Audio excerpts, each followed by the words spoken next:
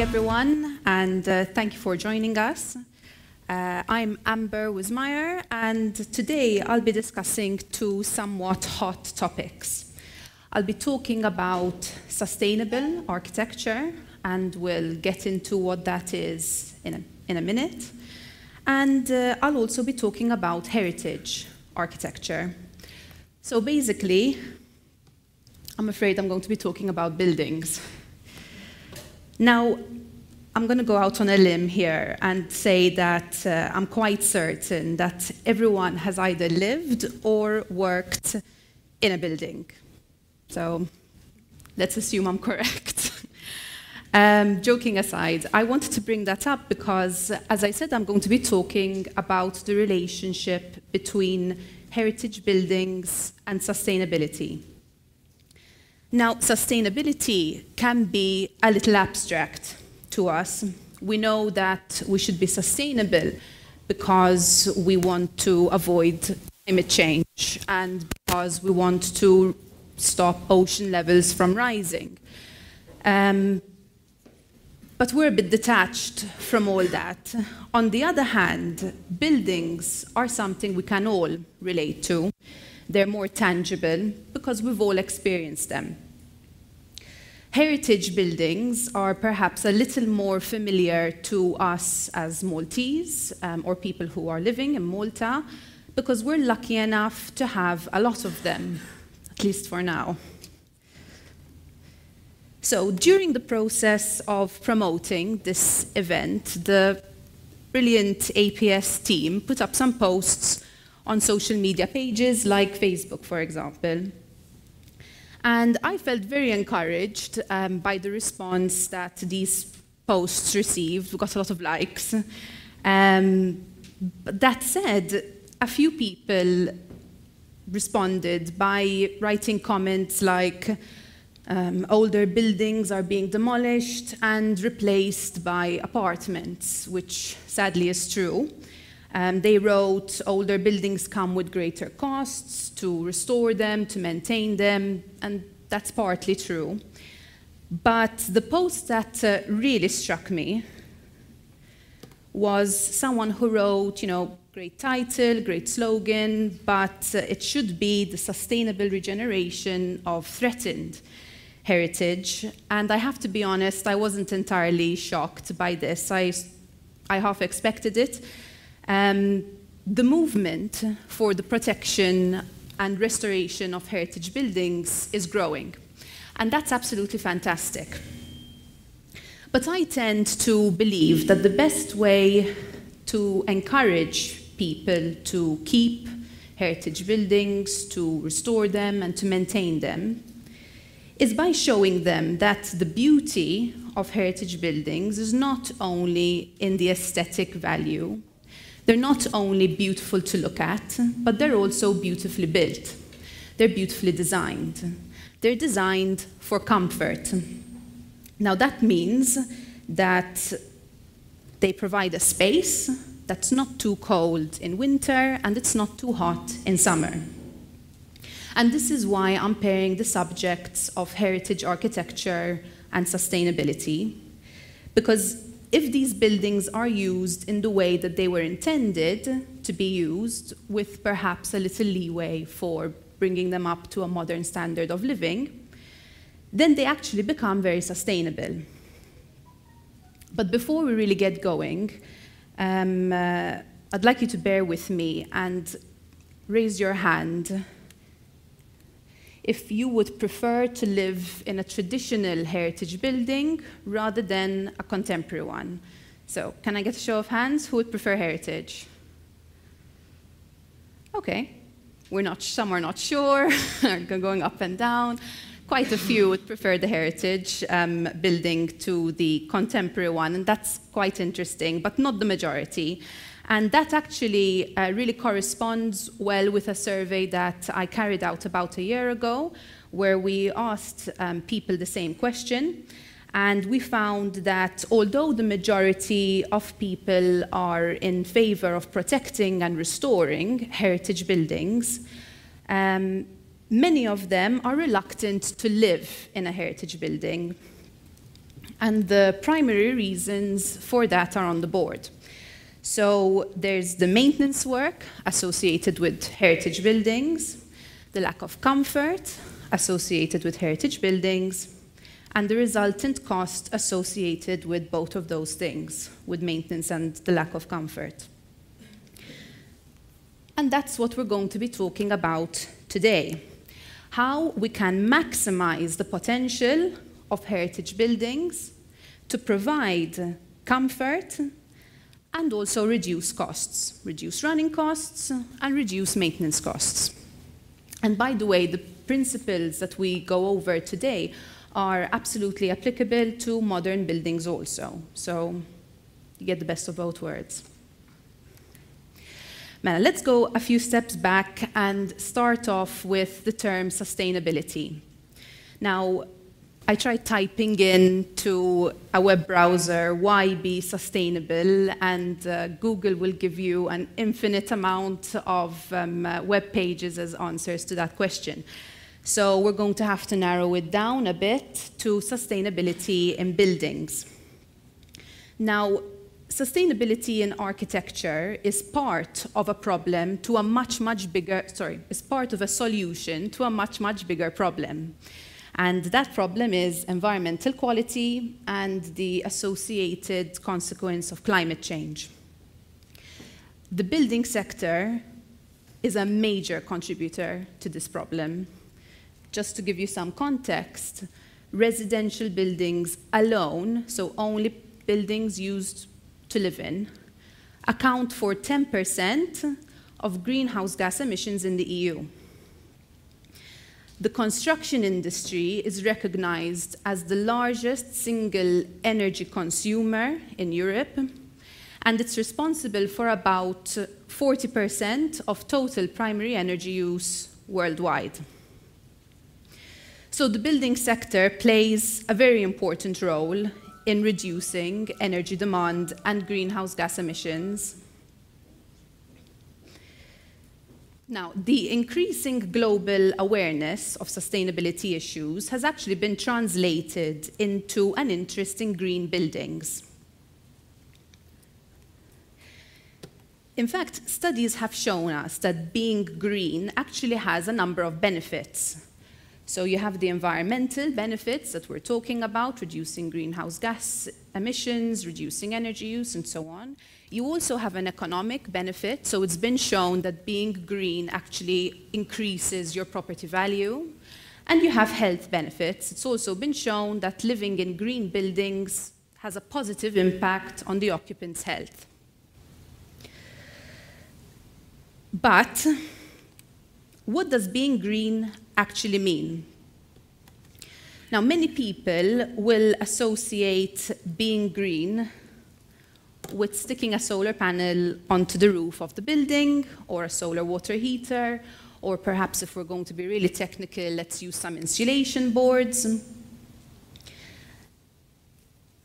And that process is called retrofitting or eco-refurbishment. Eco-refurbishment because we're refurbishing a building to make it more eco-friendly. And that's actually a good thing because um, over 70% of buildings that exist today will still exist in 2050. So we should be retrofitting or um, eco-refurbishing our buildings. But with this type of uh, retrofit, there's something called a performance gap. Now, a performance gap is the difference between what you intend to save, the amount of energy or the amount of money that you intend to save, and what you actually end up saving. In theory, I suppose you would imagine that this is a pretty straightforward equation, right? You get an expert in, the expert tells you how much you're using today, he tells you that if you do X, Y, Z, let's say if you install your solar panels, you're going to be saving so much, so you go ahead and you do X, Y, Z, but you don't get that amount of saving. And why do you think that is? Can anyone give, does anyone have some idea of the reason for that, the reason of the difference, the reason for the difference? Sorry? Okay, that's one reason, but the really, really major reason, and I'm, I'm not surprised that no one um, came up with this because it's actually our fault. we are the reason for the performance gap. It's the human element. Um, uh, it's how occupants behave in their building, and we call that occupant behavior. So, what does that mean? It's whether we leave the lights on in the hall when we go to sleep it's whether as soon as we get into a room, we grab that AC remote and we switch on the AC to cool the room without even acclimatizing ourselves, considering, you know, maybe if I open the windows, maybe the room will cool down a bit. Nope, go straight for the AC remote. And that is occupant behavior. So we can formulate the equation of what the PV panel do, can do. We can make adjustments for interrupted solar gain, like the gentleman said, and so on, but we cannot um, have an algorithm for human behavior. And I'm going to ask another question now. Why do you think we behave that way? Why do you think we leave the lights on in the hall or we go for the AC remote immediately? There's a hint on the slide. Sorry? For comfort, yes. Very good. So we do that because we want to be comfortable. And um, uh, therefore, as a result of that, we can say that ensuring occupant comfort has many advantages. And here you can see some of those advantages. So if you ensure occupant comfort, you're also ensure, ensuring that your building users are satisfied with their internal environment. If they're satisfied and comfortable, they're also more productive. So this is very interesting for workspaces. Um, in both cases, if you're comfortable and satisfied and more productive, then your property value increases. And as we said before, you have um, uh, better user health. Now, ultimately, what we associate with green design, as we discussed earlier, so PV panels and so on, does not necessarily equate to comfortable design. And this was actually proven through research. For example, one study um, uh, which considered three buildings. Two of them were normal standard buildings, and one was a green building. So this study showed that the perceptions of user comfort and satisfaction were in no way related to being green. On the other hand, older buildings were actually designed to be comfortable, and therefore we can say that they're green. We can refer to them as green. Now, what do I mean by this? Let's take a global context. Let's think about buildings all over the world. What was the primary purpose of buildings? What was their primary role? Why did that first guy grab a stone or a tree or whatever and say, I'm going to build myself a structure? Shelter, yes. He wanted to provide shelter. He wanted to be sheltered from the wind, the rain, also from animals and um, other humans, whatever. He wanted to be sheltered.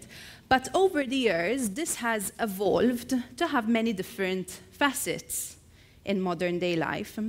And let's say 50 years ago, 100 years ago, 500 years ago, whatever, this had evolved um, into providing shelter, but also comfort.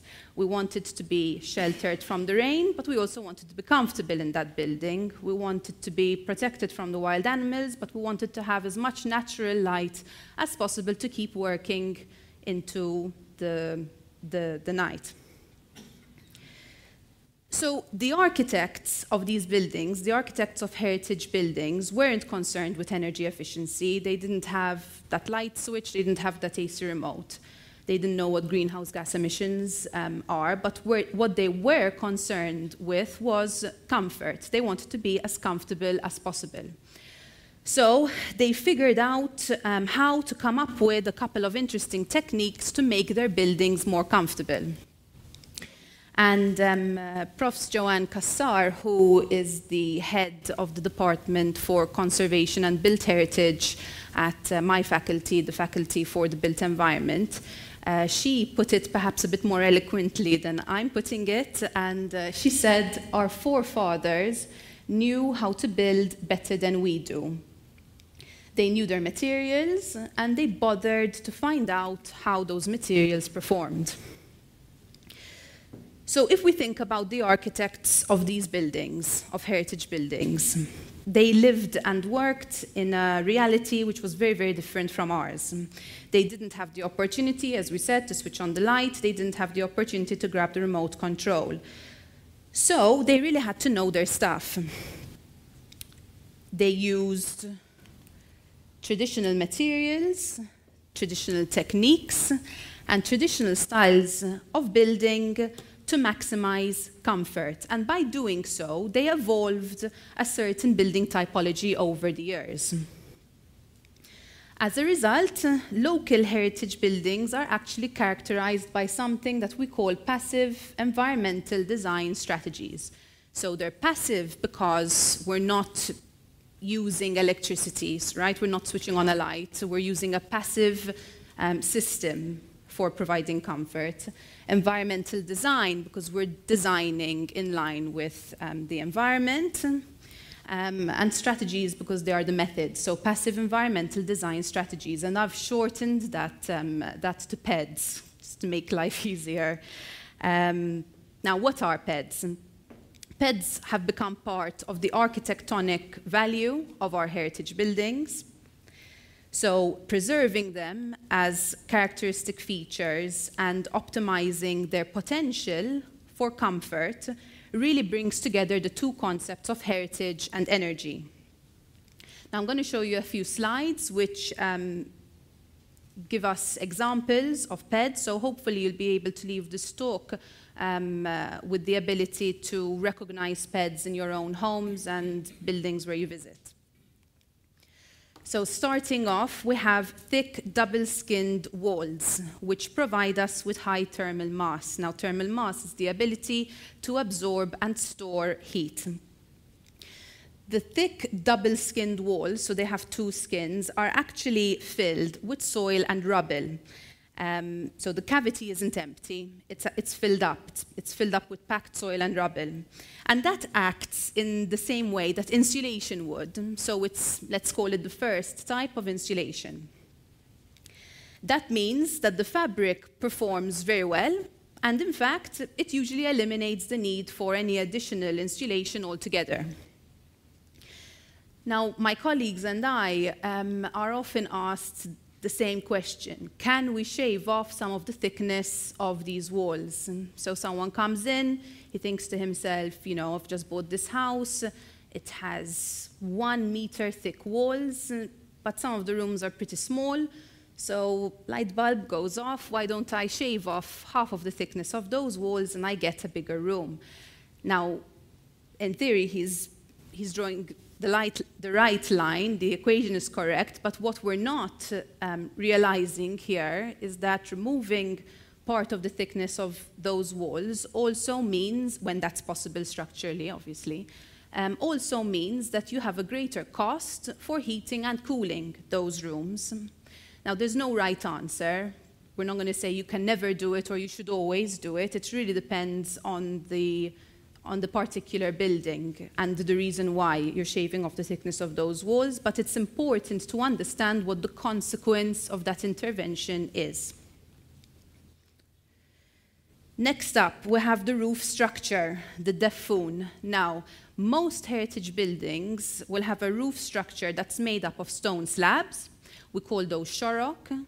Over the stone slabs, there's torba, which is like a dusty material, and covering that torba, you have something called deffun.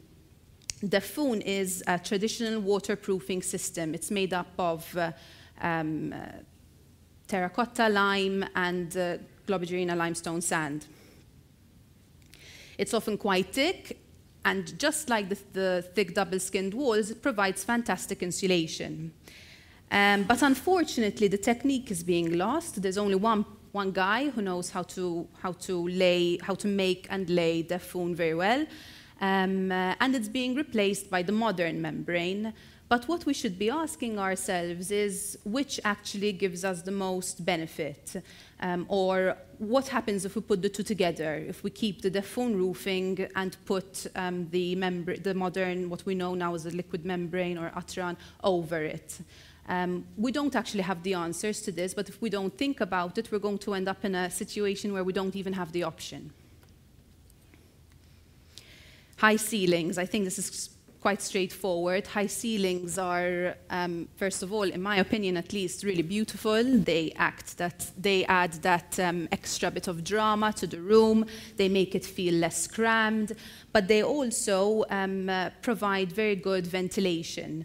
Um, very good natural cooling. So when we think about dividing up that room to create a loft, which is another question that we get asked quite frequently, understand that that has an impact on how cool the room is. Timber balconies, um, they act as a buffer. They're actually buffering some of the heat from your, um, from your rooms. And the small windows on the facade are actually sited purposely to provide cross ventilation. Um, because you have small windows, you end up with a big solid over void ratio. There's more wall than there is glass um, uh, which minimizes the amount of heat that your building is absorbing. Um, now, if you're walking around a small village, um, I don't know, Żebbuġ, Siġġiewi, one of the three villages, you'll see a lot of these small windows on the facades, but perhaps if you're in a, a town, Valletta or one of the three cities, you'll see bigger windows, and in that case, they're often supplemented by timber louvers. Unfortunately, we think about timber louvers as being problematic because they, they are um, much higher maintenance than what we know as windows today, PVC, aluminium, or whatever. Um, but just as a side note, there have been schemes for the restoration um, and, and maintenance of timber louvers, so there is some financial assistance there. Uh, look out for them, for these, for these schemes, if you, if you have any. The other problem is that when we keep the timber louvers, we're not often using them properly. So the way they're meant to be used is we have to open them very, very early in the morning so that we bring in as much cool air as possible and we shut them again when it starts getting really hot to, to minimize again how much heat the building is absorbing.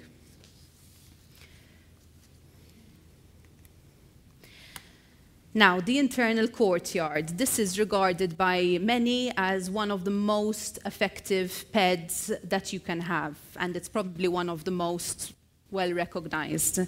Um, it provides fantastic cross ventilation, and it counteracts the problem of the small windows on the facade by bringing in a lot of beautiful natural light um, into the rooms that look onto it. In our climate, uh, where we have very high humidity, the courtyard actually also acts as an external space where um, dew evaporates in the late morning and it takes the heat away with it. So it also has that function. Um, you'll often see a loggia, a south-facing loggia with your courtyard. So the loggia is this, this arched external corridor. That's actually typical in many other countries also. Um, and the loggia is there to buffer heat um, in the adjoining rooms. So if you're ever in a space like this, you should try it in summer, sometimes even in winter if it's a warm day. If you stand out in the middle of the courtyard, you're gonna, you're gonna start feeling the heat, especially in summer. As soon as you take that little step, one step, into this space or this space, you're immediately cooler. So it really does work. There's an immediate sensation. Um, and by the way, internal courtyards can also be used in modern buildings. So this is a beautiful example of an internal courtyard in contemporary architecture. Um, again, you have the cross ventilation there, so they're siting the windows opposite each other in the spaces purposely for that. In this case, because you have a space that's large enough to do it, you've, you've also got um, that wonderful tree shading the area even more because you don't have the loggia. I'll go over one more with you. Um, heritage buildings often have underground structures. So we'll start off with basements. Basements are usually externally ventilated. So walking, or walking in the streets of Valletta and the streets of Sliema and the three cities, you'll often see those gratings on the floor um, next to the building, and that is external ventilation for the basements. Or in uh, villages, in farmhouses, there'll, there'll be um, an access point in the internal courtyard. Um, and the reason for that is to give them this constant airflow which acts as an insulating buffer for humidity at the ground floor. So having it is very, very important because what it's doing in the absence of a damp-proof membrane is minimizing the amount of humidity going up to that ground floor level.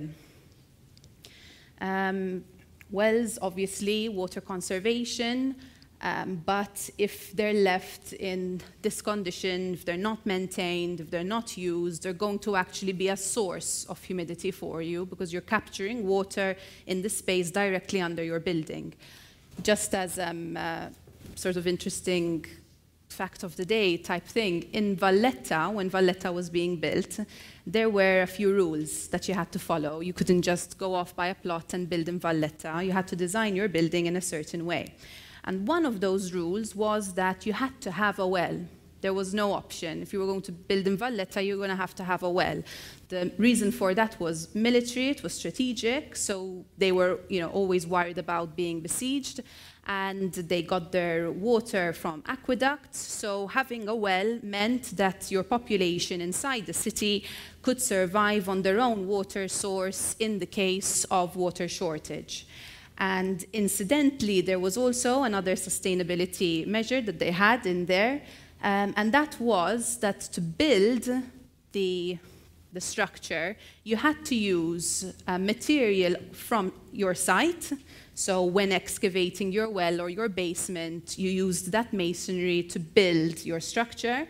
And if that wasn't enough, because you were going for something really, really, you know, magnificent, imposing, large, whatever, then you could only use um, uh, material excavated from the ditch around Valletta. So they sort of killed two birds with one stone there. Now, I'm sure you would recognize at least one of the PEDs that we've gone through here in a building that you've lived in, or maybe a building you've worked in, or a building that you've visited, maybe a friend's house or a museum.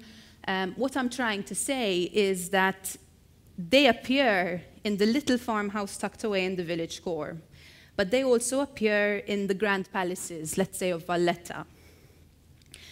And as one example, they also exist in a building that I've been lucky enough to um, work in and uh, study for a number of years, and that is San Anton Palace.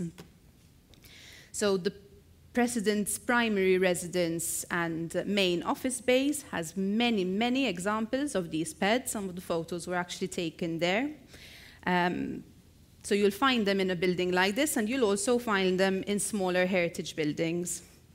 Like we said, they weren't incorporated with energy efficiency in mind. That wasn't their goal. They didn't um, aim for energy saving, but the underlying result was the same. If the environment that you live in or the environment that you work in is more comfortable, you're going to be less dependent on artificial means of lighting, of heating, or of cooling, and so as a result, you're going to use less energy. Now, to give you um, uh, some context and a break from me talking, we have uh, a video to show you which actually showcases some of those PEDs. Um, so there you go.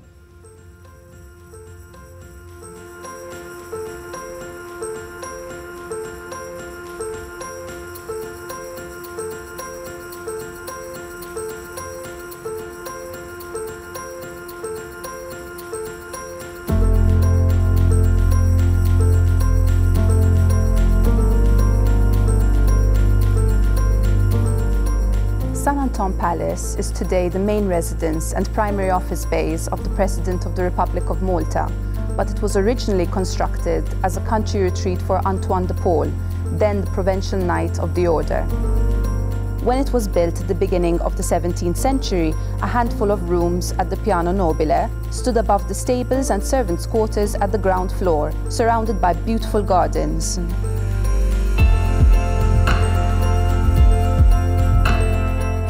Since that time, the palace has changed quite drastically. De Paule himself extended it when he became Grand Master of the Order.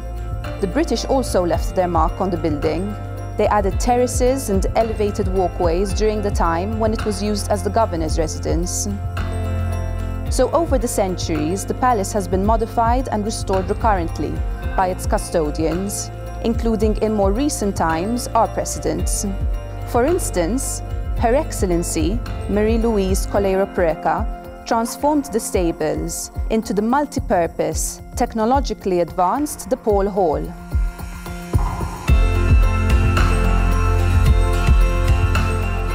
She also restored the first floor to its intended use as a piano nobile, moving the offices downstairs. The original 17th century villa is now a large-scale palace, catering to residential, administrative, office and service uses simultaneously, and housing a staff population of over 100 occupants. That said, this working palace is comparable in its characteristics and layout to other buildings classified within the heritage typology.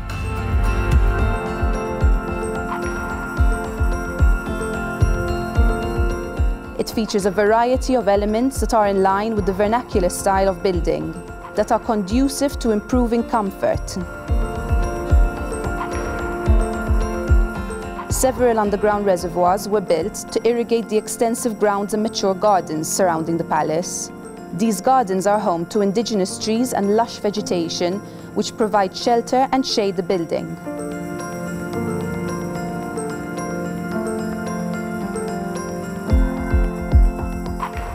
Palace features two of perhaps the most typical element of Maltese heritage architecture, the central courtyard, which maximizes natural light in the rooms which overlook them. Loggias allow for natural light and ventilation in adjacent rooms, whilst providing a buffer from the elements.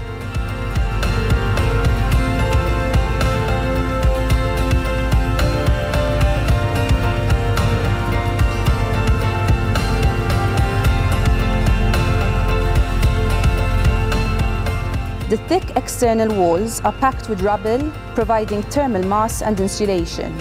High ceilings and strategically positioned windows work together to promote cross-ventilation. Louvered shutters, meant to be opened and closed at appropriate times, were incorporated to reduce glare and direct heat, whilst allowing for ventilation. Even the room finishes and furnishings were selected to maximize comfort, Stone slabs and marble flooring were installed to mitigate the heat in summer, whilst thick carpets retained warmth in winter. The Victorian mirrors in the small dining room reflected the sunlight during the day and the candlelight in the evenings.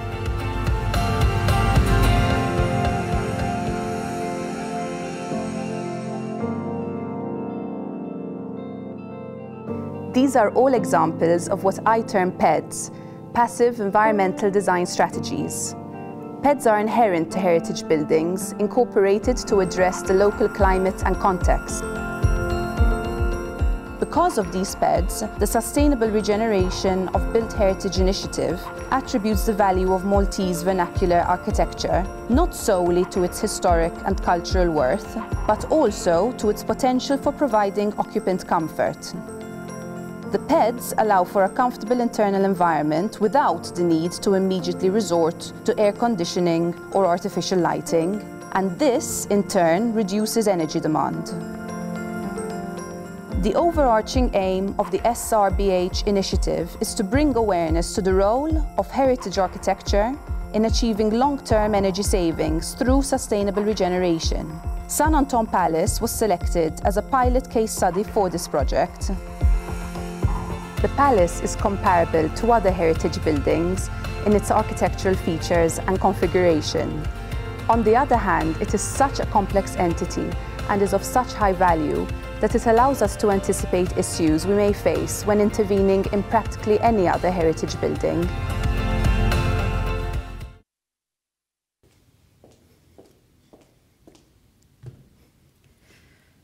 Right, so I hope that video um, gave you a bit more context to understand um, what the sustainable regeneration of built heritage movement is and what PEDs are. Um, so now you can all recognize them in your own homes, hopefully.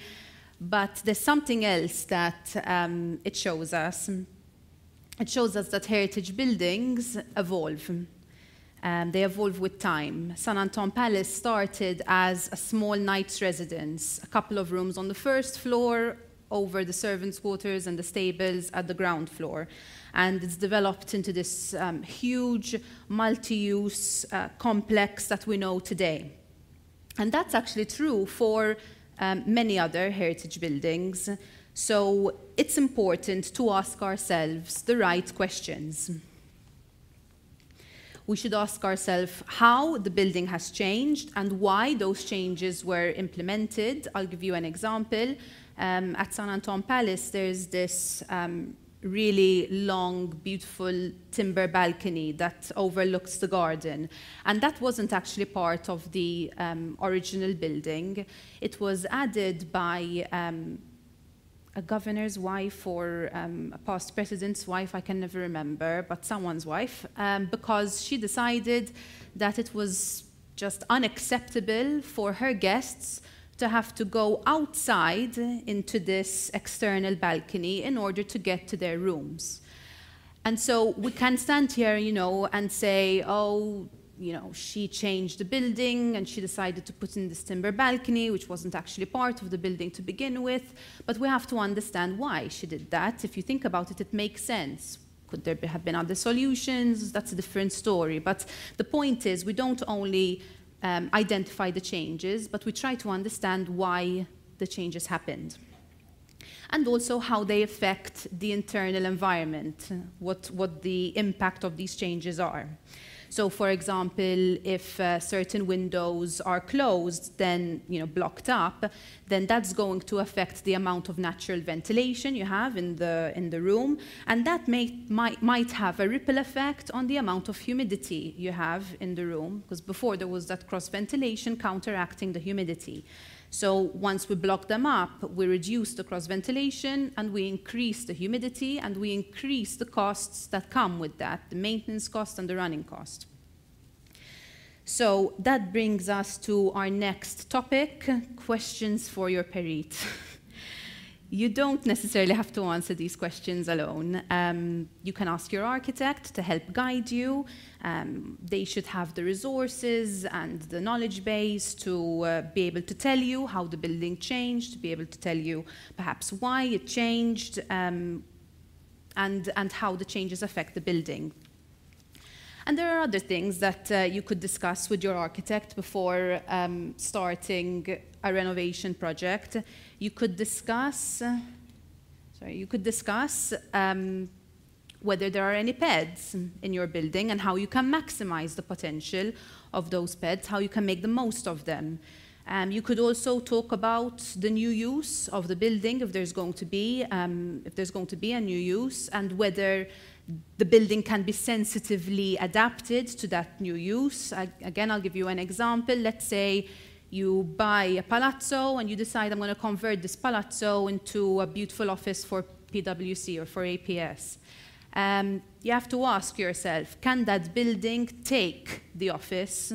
What changes do I need to make in order to accommodate the offices, in order to accommodate the technology that comes with having an office? Am I going to have to chase the walls? Should I have a raised floor to pass the, the wires below it? Are the residents going to be comfortable in that environment? If not, how am I going to fit in the ACs? There are numerous questions. So it's something that you should think about um, you should also talk about the structural and aesthetic changes that you're going to make to the building, if you intend to make any, and how these will affect the comfort levels, like we, as we mentioned before. Um, you could also talk about how they're going to affect the heritage value of the building. And just as a side note, there's nothing wrong with making changes to the building. Um,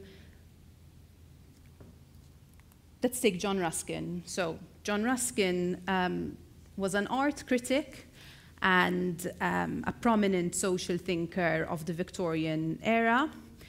And many, many years ago, he wrote, Our duty is to preserve what the past has had to say for itself and to say for ourselves what shall be true for the future.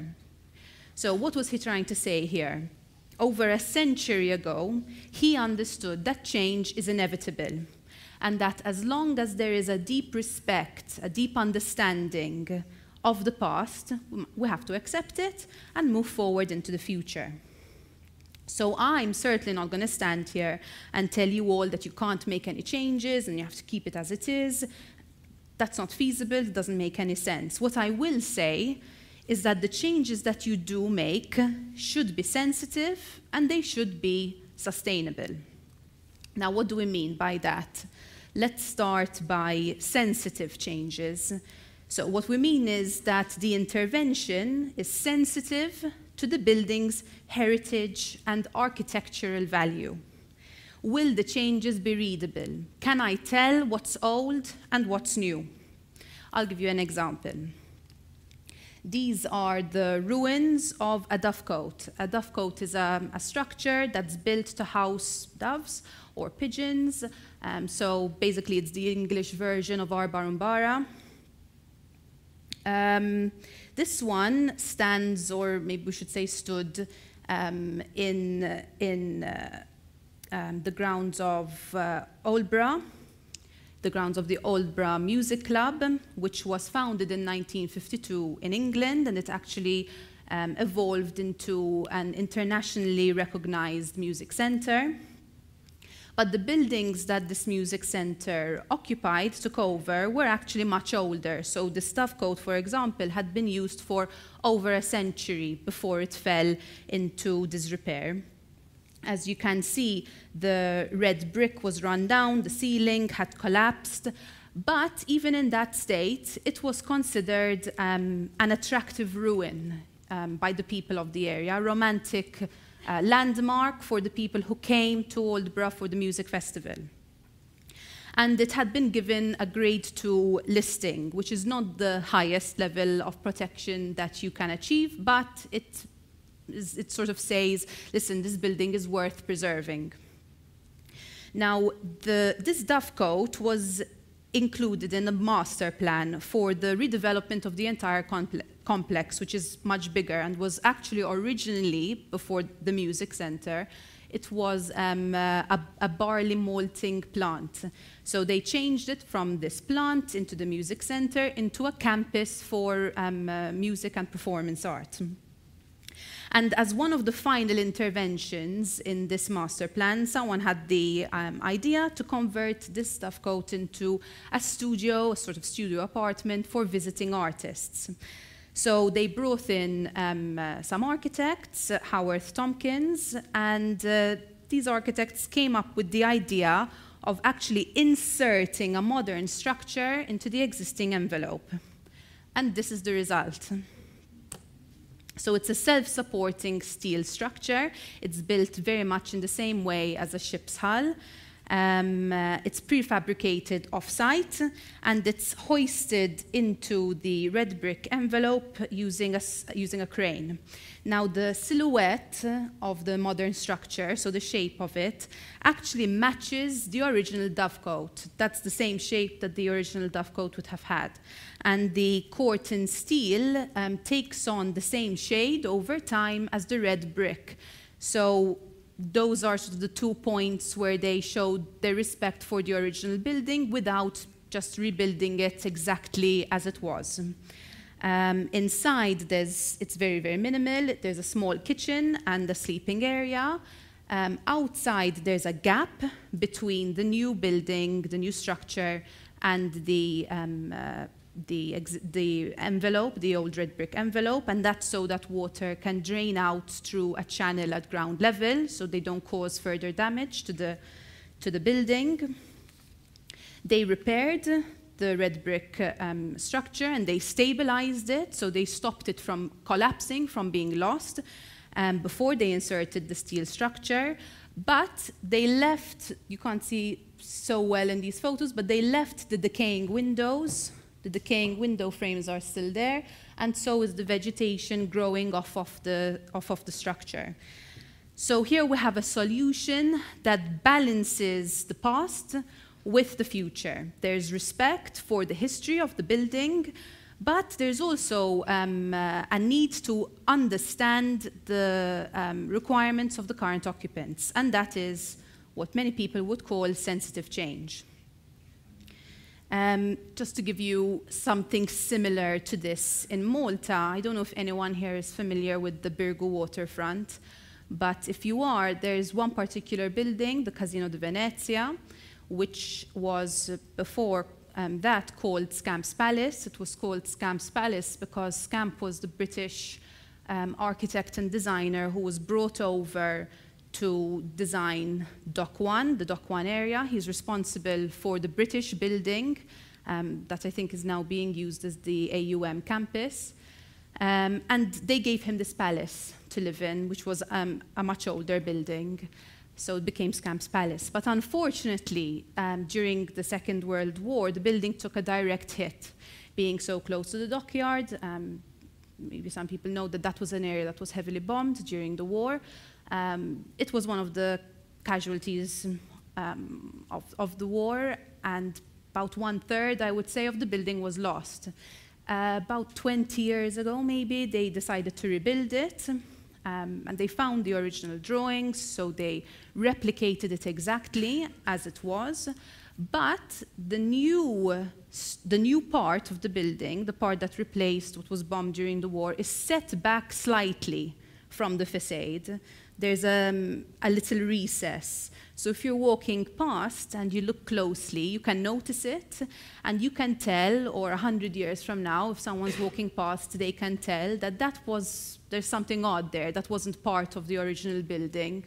Um, and that is registering the history of the building. We're not pretending that the building was never bombed, like we're not pretending that this dovecote was never left in disrepair. Now, back to the subject sustainable intervention, sustainable change. By that, we mean um, that the intervention does not negatively affect the indoor comfort levels. And here I'm going to give you a local example. So, this is a traditional little farmhouse um, style building in Żebbuġ. I studied this building as part of my master's degree, which I did in London. It's got a very typical layout. So, from the plans, you can see that there are rooms at two levels, ground floor and first floor, and they're all overlooking, or rather, many of them are overlooking a central courtyard, the central courtyard, which also has a loggia.